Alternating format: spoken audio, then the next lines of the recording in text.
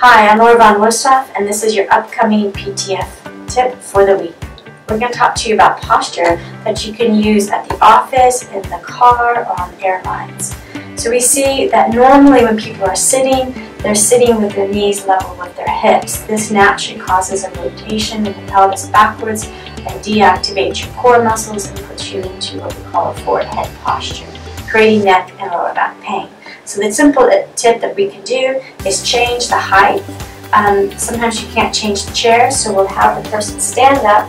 We'll take a pillow or a wedge that you can get, um, or a towel, just fold it up it's a wedge, and we're going to have her sit down just on the edge of the um, towel so that her uh, backs of her thighs are touching more of the bed or the car seat.